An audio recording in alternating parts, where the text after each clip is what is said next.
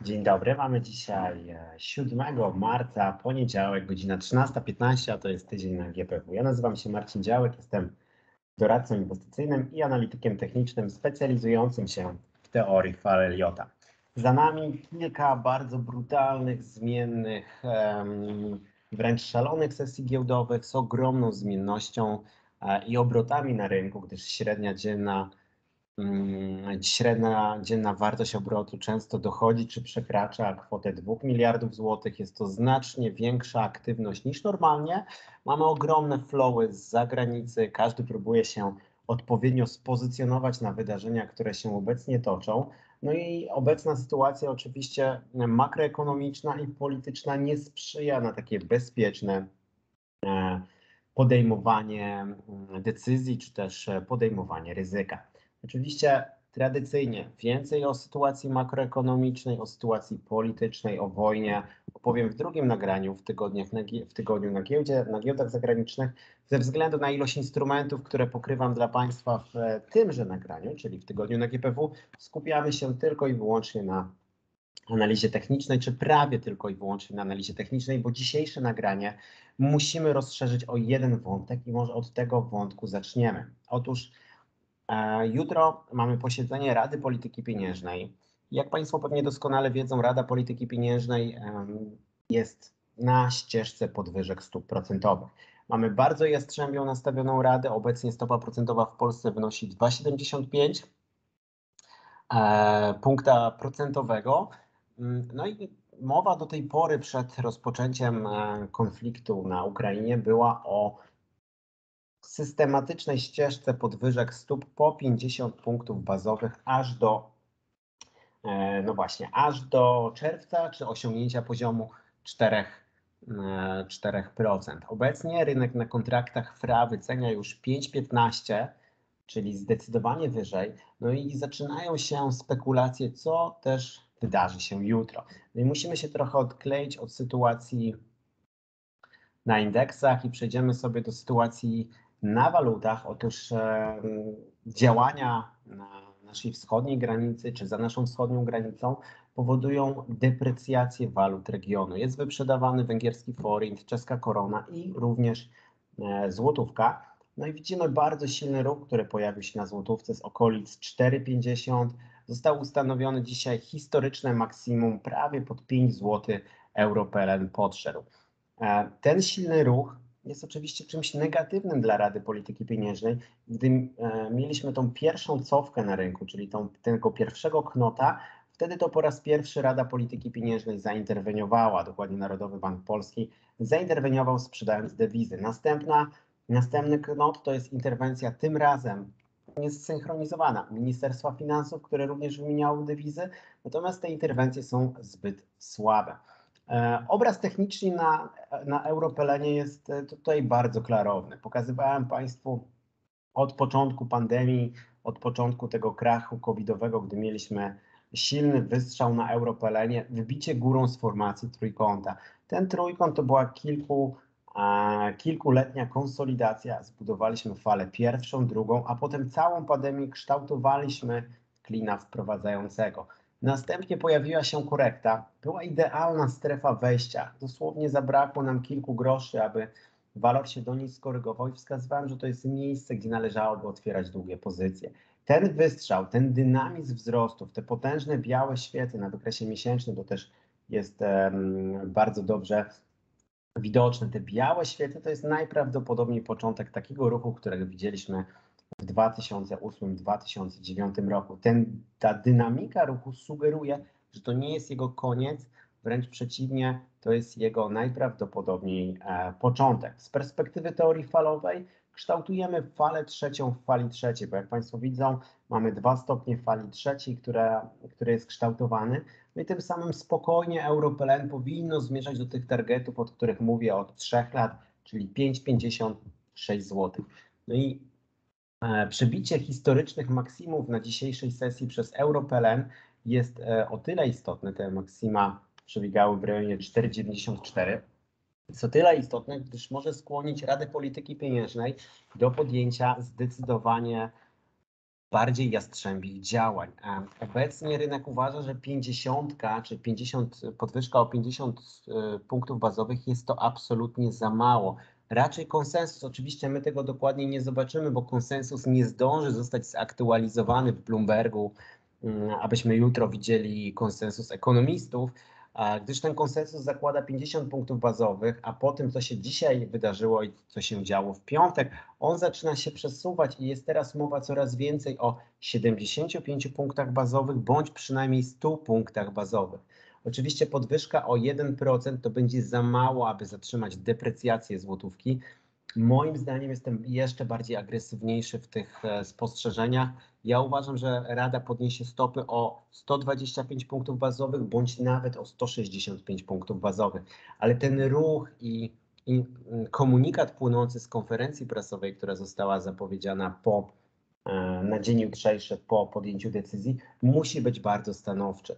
Czyli Rada musiałaby po pierwsze bardzo agresywnie te stopy podnieść, następnie musiałaby komunikować, że w momencie, gdy dalej by doszłoby do mm, ponadnormatywnej deprecjacji złotówki, to będą możliwe e, awaryjne posiedzenia e, Rady Polityki Pieniężnej, na których będą dalej podnoszone stopy, że Narodowy Bank Polski jest skłonny dalej podnosić stopę na przykład o 100 czy o 150 punktów bazowych i że Narodowy Bank Polski wespół z Ministerstwem Finansów będzie wymieniał dewizę, aby bronić złotówkę. Ten komunikat musiał być tak agresywny, żeby ten ruch zatrzymać.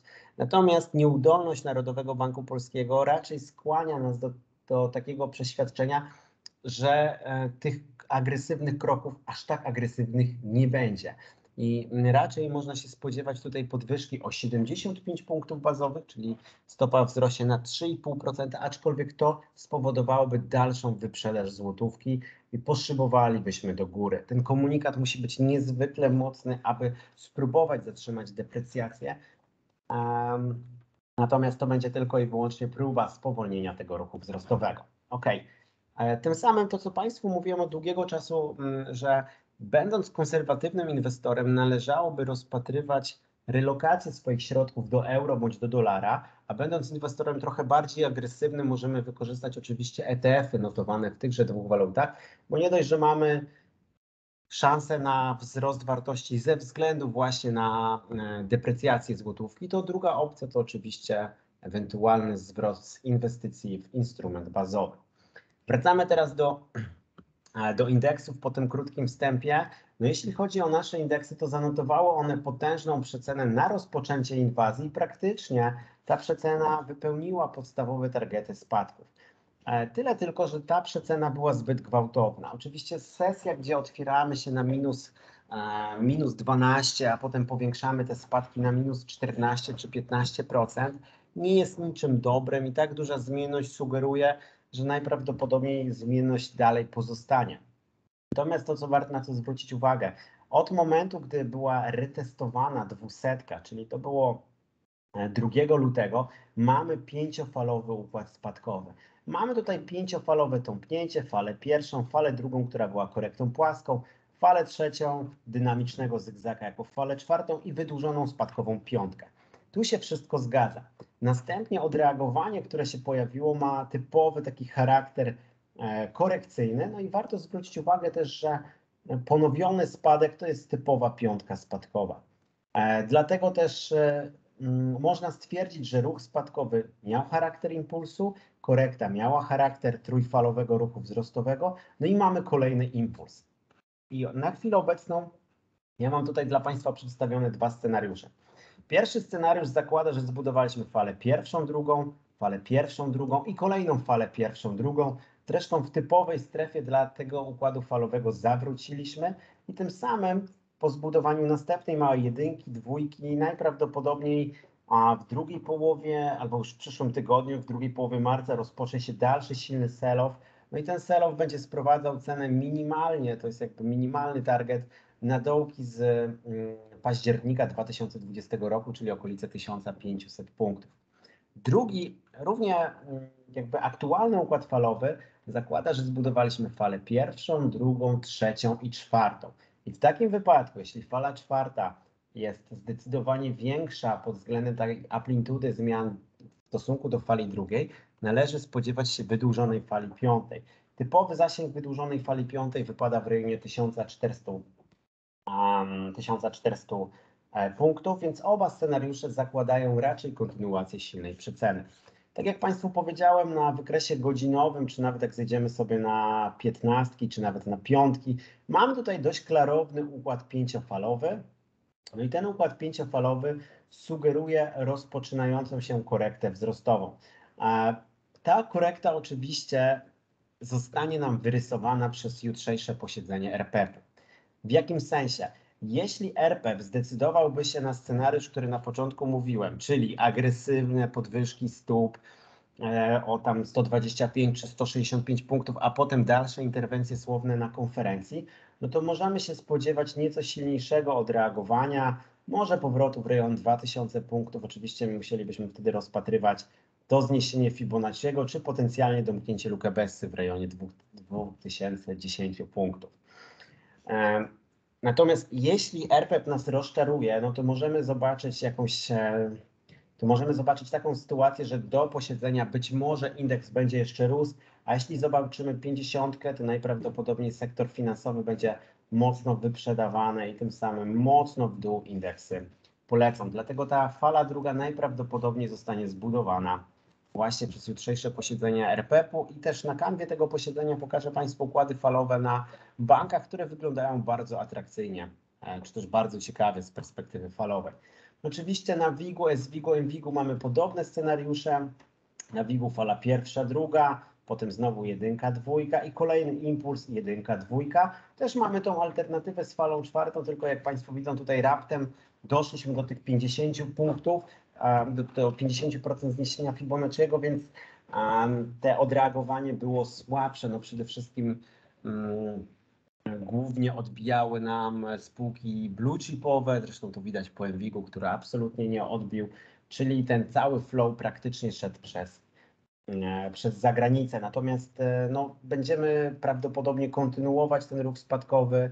Najprawdopodobniej rozpoczęła nam się bez no, przystanki na w rejonie 50 tysięcy punktów, ale takim przystankiem, na, którym, na którego pewnie usilnie będziemy zmierzać, to też 43 700 punktów.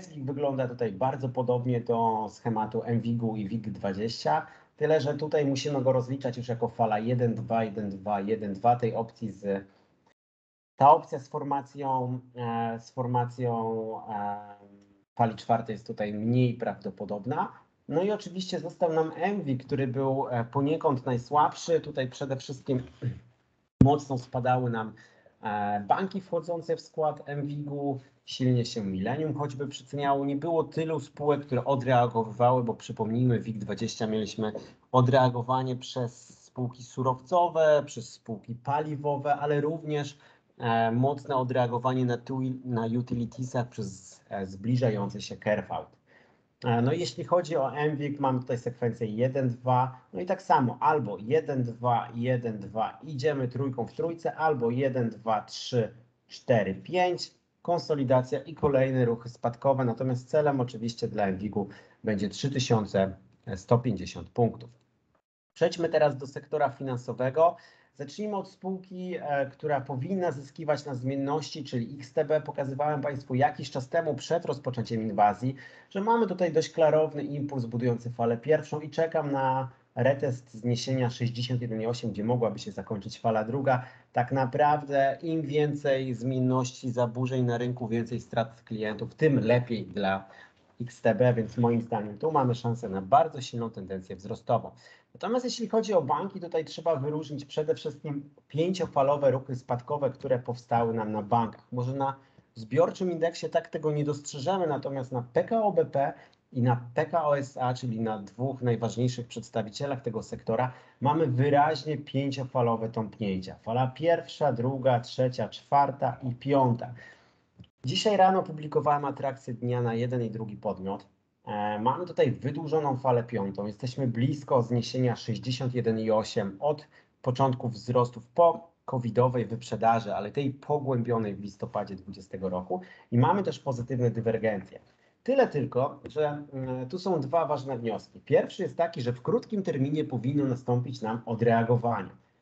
Odreagowanie zbuduje nam falę drugą bądź falę B. Natomiast po tym odreagowaniu należy się spodziewać jeszcze co najmniej jednej tak agresywnej tendencji spadkowej.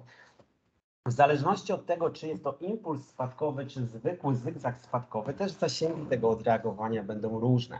Dlatego też e, mówiłem Państwu o tym, że ta fala druga na naszym rynku najprawdopodobniej zostanie wyrysowana przez posiedzenie RPP-u. Jeżeli zobaczymy agresywne podwyżki, chęć obrony waluty, interwencje słowne, no to banki mają szansę na mocniejsze odbicie, wtedy rynek zacznie pewnie dyskontować może nie 5,18, a na przykład 6% na kontraktach terminowych na stopę procentową. Natomiast jeśli to odbicie będzie za słabe, to po krótkiej korekcie możemy powrócić do tendencji spadkowej.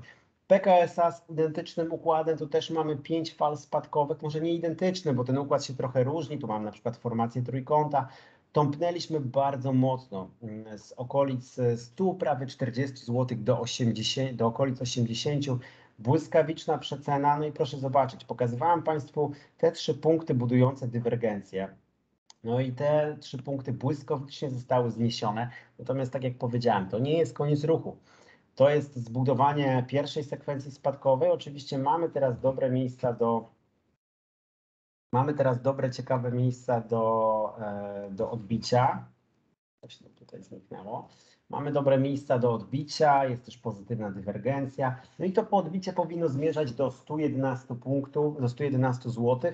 No i też najprawdopodobniej RPEP będzie odpowiadał za ten ruch. Podobne układy mają też inne banki, przykładowo handlowe. Tu też mamy pięć fal spadkowych, pięć klarownych fal spadkowych, jest silna strefa wsparcia, jest pozytywna dywergencja, no i też handlowy ma szansę na taką 10% aprecjację, no i również Alior Bank ma pięciofalowy ruch spadkowy, tyle że tutaj fala druga była paskudna, bo to była kombinacja z trójkątem, jedynka, dwójka, trójka, czwórka, piątka, blisko zniesienia FIBO, też pozytywna dywergencja, czyli cały sektor wskazuje nam na możliwość odreagowania, stąd też Moje jest takie nastawienie do agresywnych ruchów po stronie Rady Polityki Pieniężnej.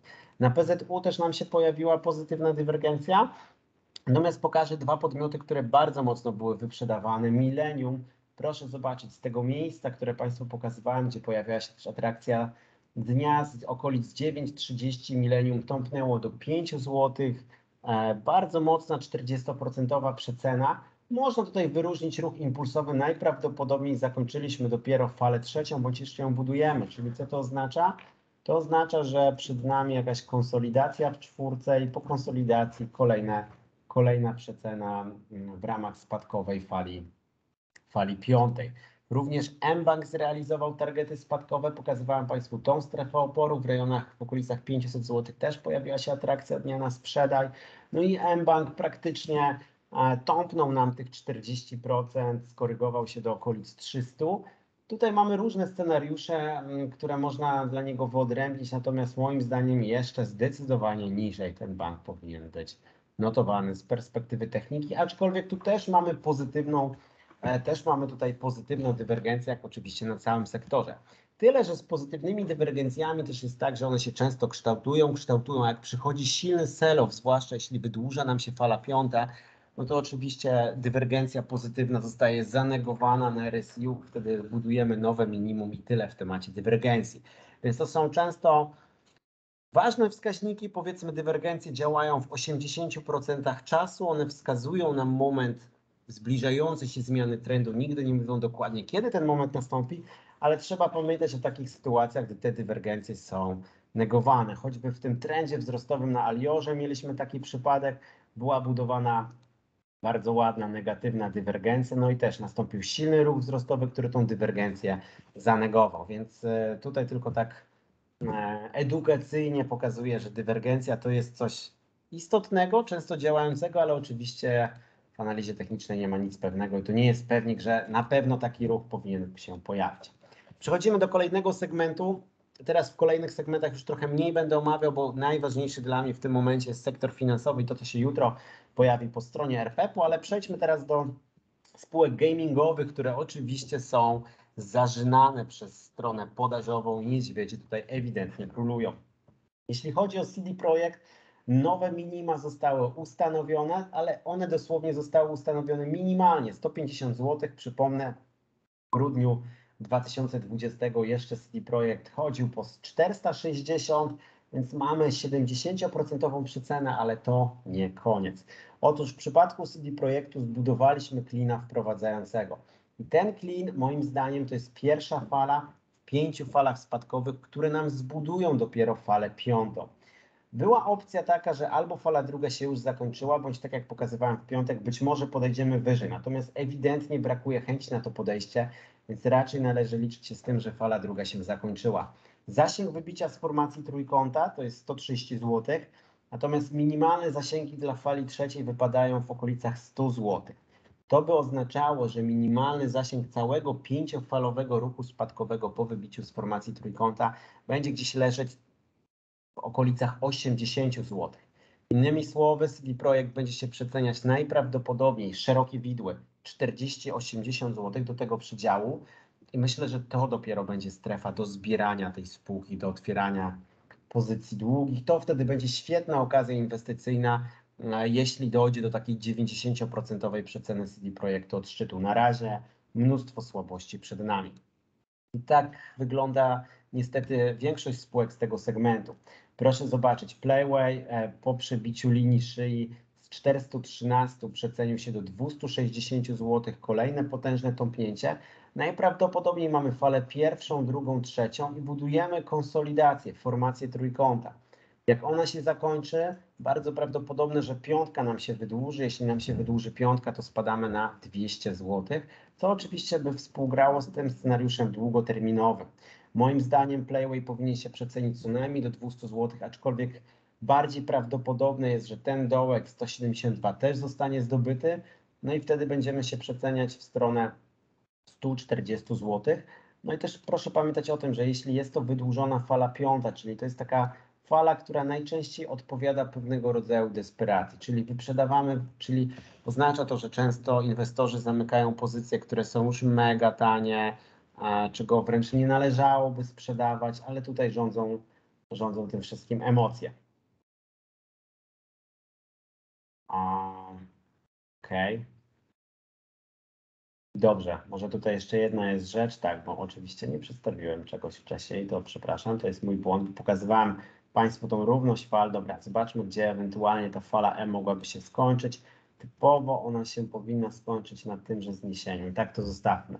No i w tym wypadku, no właśnie, ta równość fal wypada znacznie, znacznie głębiej. Czyli e, zasięg fali piątej nie wypada w rejonie 200, to były stare oznaczenia, tylko ten zasięg spadku wypada w rejonie 140 zł, czyli w okolicach, no proszę zresztą zobaczyć, 156 zł to jest równość fal, zniesienie Fibonacciego, zasięg wybicia z formacji RGR, no i tutaj też nam wypada 145 zł jako ta proporcja falowa, czyli do tych poziomów mógłby Playway zmierzyć. W przypadku Ten Square Games tutaj budujemy prawdopodobnie konsolidację w postaci formacji trójkąta. Mocno tąpnęliśmy, dołek fali drugiej został już tutaj mm, na tym, że, przepraszam, a został na tymże walorze poprawiony. No i tąpnęliśmy od szczytu oczywiście bardzo gwałtownie, ale no, tego można było się spodziewać, o tym mówiłem Państwu, gdy budowaliśmy ostatnie sekwencje wzrostowe, że po hiperbolicznych ruchach dołek fali drugiej jest zawsze targetem wydłużonej fali piątej. Ten target został zrealizowany, aczkolwiek to jest target minimalny najprawdopodobniej tych spadków jeszcze nie zakończyliśmy. Mamy falę pierwszą, drugą, następnie jedynka, dwójka, trójka, czwórka, piątka. Prawdopodobnie koniec trójki.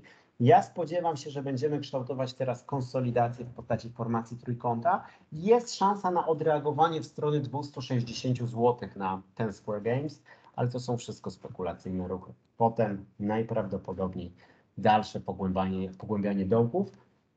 Najlepiej z branży wygląda tutaj 11bit. Teoretycznie zatrzymaliśmy się w fajnym miejscu na odreagowanie, na rozpoczęcie ruchu wzrostowego. Natomiast oczywiście tu też możemy, ta fala E może znacznie bardziej wydłużyć się w czasie. I o czym należy jeszcze pamiętać? E, po inwazji na Ukrainę zaczęło się silne odreagowanie na rynku amerykańskim. Odreagowały nam Nasdaqi, odreagowały nam, odreagowało nam S&P. Te spadki, które widzimy, to jest praktycznie, mm, albo te przeceny, które, czy ruchy na aktywach, które widzimy, to są przede wszystkim przeceny indeksów europejskich. Widzimy bardzo silne ruchy na surowcach, a jednak po inwazji e, Nasdaqi mocno odbiły, są tak naprawdę wyżej niż po rozpoczęciu wojny. Więc na razie jest to jakiś czynnik wspierający e, polski gaming. W momencie, gdy Nasdaqi wrócą na ścieżkę spadkową, znowu z polskim gamingiem może być słabo. Z tych ważnych spółek jeszcze zupdate'ujemy Allegro. No i niestety Allegro po tym odreagowaniu, które miało kształt tylko trójfalowy, kolejne tąpnięcie. No i moim zdaniem budujemy wydłużoną falę piątą, 20 zł na horyzoncie na Allegro. No i cały czas nie jesteśmy w stanie zbudować, uklepać dna, tylko proszę zobaczyć, że na Allegro w tym rozpisce długoterminowej mamy falę pierwszą, mamy falę drugą, budujemy dopiero falę trzecią. Jak ją zakończymy, konsolidacja tworząca czwórkę i jeszcze jedna przecena budująca piątkę. Pamiętam, gdy debiutowało The Allegro, było, e, robiło ono 100 zł. Mówiłem Państwu o tym, że wrócimy według techniki do cen emisyjnych albo nawet niżej. Dno ceny emisyjnej to było 40 zł. Jesteśmy tak naprawdę połowę tego niżej. E, gdy zejdziemy do 20 zł, to walor przeceni się o 80% od szczytu, ale no niestety tak kończą bańki spekulacyjne na rynkach. Jeśli chodzi o pozostałe spółki, mm, może ciekawy jest próba budowania dna na Ultimate Games. Mam tutaj ogromną pozytywną dywergencję. Ja czekam również na dołek na People Can Fly Group na poprawienie 44 zł. To będzie miejsce do ewentualnego kupna, czy też Game Operator spróbuje zbudować dołek, bo też ma pozytywną dywergencję. Tylko, że to są o tyle ciężkie tematy, że przy mocno niedźwiedzim spadającym rynku no trudno, żeby coś innego nam rosło, więc trzeba dobrze tutaj trafić w moment, jeśli chodzi o te spółki, więc pokazuję je Państwu, ale nie z jakimś dużym przekonaniem, bo dla mnie po prostu przychodzi bardzo mocny rynek niedźwiedzia. Brakuje nam jeszcze w Stanach poprawienia dołków, ale jeśli Stany nam do tego dołączą, jeśli w tą retorykę wpiszą nam się banki centralne z zacieśnianiem polityki pieniężnej, no to po prostu perspektywy na najbliższe tygodnie są słabe, więc każde próby podbierania to są takie próby a oczywiście krótkoterminowej, spekulacyjnej gry. Na energetyce zobaczyliśmy ogromne odreagowanie, pojawił się znowu pomysł curve auto, no oczywiście to jest fundamentalny trigger do mocnych wzrostów. No i teraz tak, na chwilę obecną, po tym klinie budującym falę pierwszą, ten cały ruch spadkowy można rozliczyć jako impuls, bądź też jako skończoną korektę typu zygzak, bo możemy sobie tego trójkąta inaczej wyrysować i wtedy mielibyśmy falę A, falę B i falę C. I koniec ruchu. Ale tyle, że ja z tymi wnioskami poczekam jednak do sforsowania tej strefy oporu. Jak ją sforsujemy, ustanowimy nowe maksima. Wtedy oczywiście do tego scenariusza, przepraszam, wzrostowego się włączę.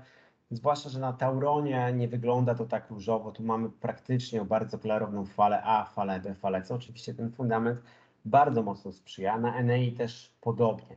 Dlatego też ja na razie czekam z boku i zobaczę, czy faktycznie będziemy w stanie iść w stronę historycznych maksimów, bo na naszym rynku, czy naszym rynkiem niesamowicie miota, zwłaszcza jak popatrzymy sobie na poszczególne spółki. Mamy sektor bankowy przykładowo dzisiaj, sektor bankowy czy technologia, Allegro zażynane 8%, sektor bankowy podobnie, a z drugiej strony mamy taki KGHM, JSW, PKN, Tauron, czy PGE, które nam odbijają po kilka procent, więc jest to bardzo niejednorodny rynek, bardzo rozchwiany. Ja wolę poczekać i zobaczyć, co z tego wyniknie. Tak samo paliwami zaczęło mocno miotać. Na PKM-ie mamy jednak cały czas e, szansę na zbudowanie fali pierwszej i korekty tworzącej falę drugą. To wszystko jest w mocy. Na lato się tak samo. Albo jest to sekwencja fal pierwszych i drugich, albo oczywiście cały ten ruch zbuduje nam, chyba to jest bardziej a prawdopodobna opcja, cały ten ruch zbuduje nam wielkiego klina, tak jak na PKN-ie, więc znowu jakichś wielkich pozytywnych czy negatywnych wniosków nie możemy na razie z tego, e, z tego wysnuć. Jedyna różnica powstała nam na Pegnigu, bo Pegnig oczywiście wystrzelił, no i znowu te wszystkie spółki ruszają się, bo z jednej strony mamy ogromny wzrost cen gazu, z drugiej strony ogromny wzrost cen ropy naftowej i również wzrost cen węgla koksującego. To są dzienne wzrosty po kilkanaście procent, stąd błyskawicznie te spółki wystrzeliwują do góry. Na Pegniku ten spadek można rozpisać jako skończoną trójfalową tendencję typu ABC. I pytanie jest teraz takie, czy jest to fala pierwsza, druga, no i trójka nam urwie, pójdzie w stronę kilkunastu złotych, to jest jedna z opcji. Tylko nawet jeśli tak miałoby być, to najpierw powinna się pojawić korekta tworząca falę drugą. Małą pod falę drugą. Dopiero potem wyrwałaby trójka w trójce. Druga opcja jest jednak taka, że to może być jakiś ruch typu A, B, C i możemy wracać na południe. Więc absolutnie w takich momentach to nie jest dobre miejsce na kupno. Trzeba poczekać i zobaczyć, co się wydarzy. Oczywiście to jest ruch impulsowy. Mam tutaj charakter ruch impulsowy z jakąś formacją trójkąta. Oczywiście są już dywergencje, więc jeżeli myślimy o otwarciu pozycji długiej, ja też się będę nad tym oczywiście zastanawiał, e, no to powinniśmy poczekać na retest tej strefy. Na powrót i retest tej strefy, czyli to co zawsze, czyli 50 i 61,8. Jeśli tu spadniemy trzema falami, można pomyśleć o reteście w tym takim bardzo bullishowym scenariuszu, który Państwu pokazałem. Jeśli chodzi o telekomunikację, Orange próbuje przełamać tą strefę oporu. A przełamanie, no, można powiedzieć, że praktycznie zostało to przełamane, ale no, na tych spółkach też wiele się jakby nie dzieje, ale 6,30 na horyzoncie. W przypadku budowlanki, no przede wszystkim trzeba popatrzeć na Budimex, bo na Budimexie mamy odwrócenie trendu. Um, dlaczego? Otóż na Budimexie cały ruch wzrostowy, początkowo go Państwu rozpisywałem jako układ 1, 2, 3, następnie fala czwarta i ruch do góry. Natomiast od szczytu obecnej możemy wyróżnić pięć fal. Mamy falę pierwszą, falę drugą, falę trzecią, falę czwartą i jest poprawiony dołek fali trzeciej, nawet nowe minima, więc kształtujemy falę piątą. Jeżeli mamy pięć fal spadkowych, to poprzedni ruch tym samym staje się zygzakiem. No i tak, skończył się trójfalowy ruch wzrostowy, wybiliśmy się dołem z formacji trójkąta, zbudowaliśmy jedynkę, dwójkę, trójkę. Moim zdaniem mamy tu szansę na klina, klina kończącego, jeszcze czwórka, piątka i z okolic 200 zł, pewnie na tej sporej pozytywnej dywergencji a, i również oczywiście wspierany tą dwusetką powinniśmy odbijać. Tyle tylko, że do tej pory pokazywałem target historyczne szczyty, absolutnie historyczne szczyty to jest target, o którym można zapomnieć, ale prawdopodobnie odbicie w stronę 270 zł ma szansę na realizację. Tylko najpierw tego klina trzeba skończyć, więc będę ten walor obserwował. On jest oczywiście w krótkim terminie fajny, potem do rozgrywania, natomiast tu informuję o długoterminowej zmianie trendu na Budimexie. No i Airbud, który nam cały czas krwawie, pokazywałem różne scenariusze, gdzie był potencjalnie moment do podbierania, natomiast ewidentnie cały czas w dół. No i proszę zobaczyć, Airbud z okolic 100 zł, już 36. Cały czas jest to sekwencja impulsowa. No i to też jest fatalna wiadomość, bo ona oznacza, że po zakończeniu tych spadków będzie korekta i druga sekwencja spadkowa na co najmniej w trójfalowego zygzaka. Idziemy dalej. E, chemią buja, e, mocno tutaj chemią buja. Tu pytanie, co z nawozami, z sadzeniem roślin uprawnych na Ukrainie i na Rosji. Natomiast teoretycznie azoty cały czas nie zanegowały tego scenariusza i mogą podchodzić pod 42 zł. W przypadku deweloperki natomiast E, warto zwrócić uwagę na Dom Development, bo Dom Development zatrzymał się na bardzo silnym wsparciu. Oczywiście wiadomości dla Dom Development są fatalne. Jeśli stopa pójdzie bardzo mocno do góry, no to praktycznie kredyt hipoteczny wyschnie. Stal poszybowała do góry, więc problemy w budowie. Ukraińcy wrócili walczyć, więc problemy z pracownikiem. No marża zacznie im się sypać, no fundamentalnie wygląda to źle, po prostu. Natomiast z perspektywy techniki zatrzymaliśmy się na tej dwusetce, walor jest mocno wyprzedany, na wykresie dziennym jakaś dywergencja nam powstała. Oczywiście mamy pięciofalowy spadek. Natomiast na razie dla mnie jest szansa na odreagowanie, natomiast po tym odreagowaniu powinna się pojawić kolejna mocna przecena. Ogólnie scenariusz na południe, mam tutaj e, dowód odwrócenia trendu, ale na razie jakiś sam e, relief rally może, czyli taka right ulgi, odreagowanie. Natomiast w dłuższym perspektywie oczywiście nie wygląda to za dobrze. W ochronie zdrowia na nauce mamy pięciofalowy spadek, mamy odreagowanie trójfalowe, potencjalną formację RGR. Przypominam, Neuka 300 zł ma do zaliczenia przed sobą, więc jeszcze sporo spadków przed nami. Jeśli chodzi o pozostałe spółki, no to są wszystko takie mocno spekulacyjne walory, więc one były mocno wyprzedawane. Na większości z nich mamy oczywiście pozytywne dywergencje, natomiast to jest to samo, co w przypadku tych małych spółek gamingowych, co Państwu mówiłem. No przy rynku, który się mocno przecenia, przy takiej zmienności, trudno, aby na tych spółkach pojawił nam się popyt, więc to jest no, trzeba z dużą, dużą dozą ostrożności do tych spółek przychodzić, bo gdy trend na rynku, na głównych indeksach staje się klarowny, spadkowy, ciężko wtedy grać tematy wzrostowe. Gdy jeszcze się konsolidujemy, albo najlepiej, gdy na głównym indeksie budujemy korektę wzrostową, wtedy nie ma problemu. Natomiast jak na głównym indeksie jest klarowny trend, dużo nerwowości, no to te małe spółki no, nie dają takich um, bezpiecznych tradeów, ale oczywiście wszystko zależy tutaj od poziomu ryzyka. No i przechodzimy teraz do spółek zaklasyfikowanych już po indeksach, a nie po branżach. No przede wszystkim miota bardzo mocno spółkami wydobywczymi na, na całym, w całych indeksach, bo to nie tylko kwestia WIG20, tylko jeszcze kwestia MWIG-u. Widzimy bardzo silny wzrost na ropie, na przepraszam, na, e, na KGHM-ie, który jest konsekwencją, może to pokażę, wyłamie się tym razem, pokażę drugi raz na surowcach, który jest konsekwencją wzrostów na miedzi. Na miedzi mieliśmy formację trójkąta, wybiliśmy się górą z tej formacji. Na razie jest to jedynka, dwójka, to jest po prostu fala trzecia, która nam powstaje w tej formacji trójkąta. Oczywiście jest to na kanwie ewentualnych zbrojeń, rynek wiele próbuje dyskontować. Natomiast ten ruch jest krótkoterminowy i o tym trzeba pamiętać. Dlaczego? Wybicia z formacji trójkąta świadczą o ostatnim ruchu zgodnym z kierunkiem trendu. Po drugie, ustanawiamy nowe maksima i to jest ważna rzecz i o tym muszę powiedzieć przy analizie KGHM-u. Ustanawiamy nowe maksimum. Oczywiście to maksimum już mogło zostać zbudowane, choć patrząc z wykresu dziennego, to pewnie jakaś konsolidacja w czwórce, jeszcze jeden ruch, tak żeby nam na dziennym powstała dywergencja, więc pewnie jeszcze tydzień, może dwa tygodnie wzrostu. Może podejdziemy do 520, może do 560 centów, czyli 5,6 dolara. Natomiast Pamiętajmy o tym, że ten ruch buduje nam ogromną dywergencję na, e, na RSI, na wykresie miesięcznym. No i w przypadku miedzi możemy się cofnąć do lat 70., końcówka lat 70. Każdorazowo nowe maksimum budowało nam dywergencję od lat 70. Mieliśmy cztery takie sytuacje, możemy też ten szczyt, tu nie było wprawdzie maksimum, ale oczywiście było potężne, ponad 100% odreagowanie. Za każdym razem powstawała nam dywergencja. Ta dywergencja średnio na szczycie trwała 12 miesięcy. po tej dywergencji nie pojawiała się jakaś korekta, tylko pojawiało się tąpnięcie. Średnio dywergencje trwały 12 miesięcy, średnio tąpnięcie wynosiło 62%. Jeśli mm, e, ta analogia zadziała i tym razem, to niech Państwo zgadną, kiedy powinna się skończyć dywergencja. Tak, dywergencja powinna skończyć się w marcu czyli w tym miesiącu. Czyli można powiedzieć, że to jest finalny ruch wzrostowy. Oczywiście na wykresie dziennym to jeszcze nie jest moment na sell. Jedynka, dwójka, trójka jest obecnie. Konsolidacja, nowy szczyt, dywergencja na dziennym i to jest moment na sell. To jest wtedy moment na sell i mieć może lecieć o połowę.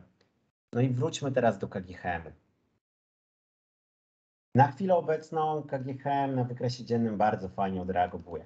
Tyle, że na ten cały spadek na KGHM ma kształt impulsowy, jest to klin wprowadzający. Następnie mamy A, B, C. Typową trójfalową korektę jest 61,8 zniesienia Fibonacciego. Pytanie, ile tutaj jest siły na wzrosty? Natomiast jak zmaterializuje nam się ten scenariusz, e, który pokazałem Państwu na surowcu, no to mieć to KGHM, e, ten potencjał spadków może zaliczyć w rejonie 60 zł. Więc E, to oczywiście byłby trigger, który bardzo mocno by też cały rynek nam ciągnął w dół. Idziemy dalej. E, potężny wystrzał cen węgla koksującego, potężny wystrzał cen JSW. Tutaj oczywiście można, można się dopatrywać w takiego potężnego wykupienia, natomiast ja to na razie wszystko zostawiam. Tematy są tak zmienne, że Zostawiam to z boku. Na Bogdance mam tutaj podobny schemat. Oczywiście te scenariusze spadkowe zostały zanegowane. Bogdanka wystrzał razy dwa, razy trzy tak naprawdę, więc wszystko jest na kanwie węgla. Gdy sytuacja się zmieni na surowcach, sytuacja się również zmieni na tych spółkach, więc to są bardzo ryzykowne playe. Ja ich do końca nie rozumiem, więc je zostawiam z boku. Idziemy dalej.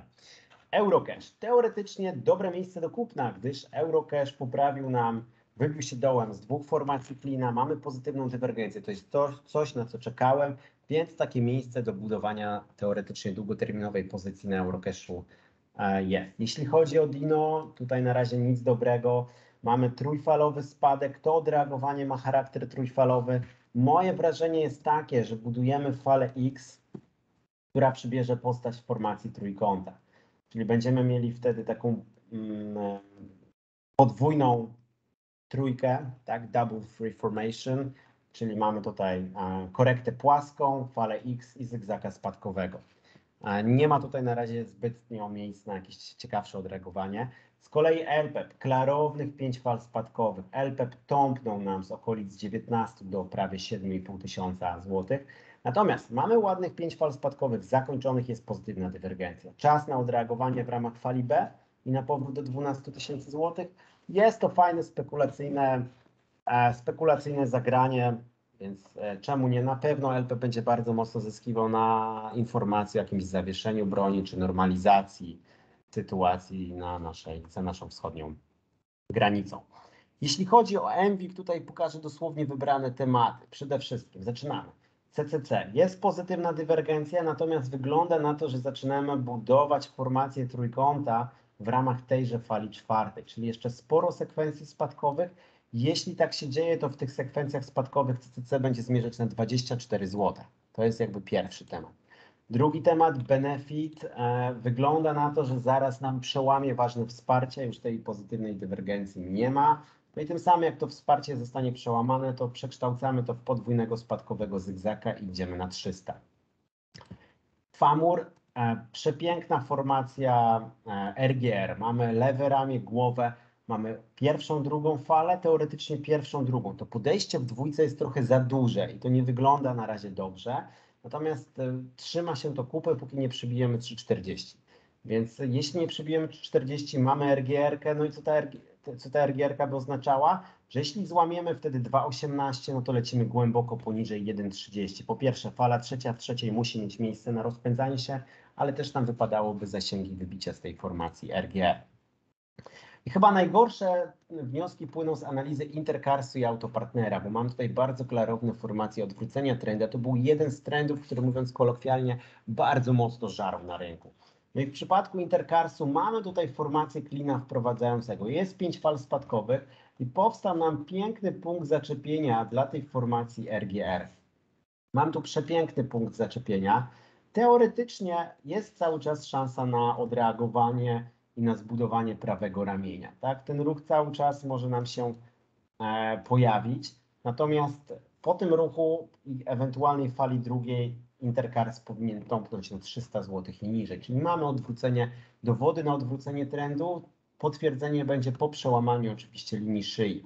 No i podobnie tutaj wygląda autopartner ze zwigu, bo mamy takie tąpnięcie, które zbudowało pewnie falę pierwszą, falę drugą, jest RGR-ka, ona jest zaznaczona w sposób taki pochyły, ale pewnie równie dobrze można by tak tą RGR-kę zaznaczyć, też byłoby ok. I też to wygląda po prostu na odwrócenie trendu. Mamy impuls, mamy złamaną linię trendu, mamy złamaną dwusetkę, mamy złamaną linię szyi RGR.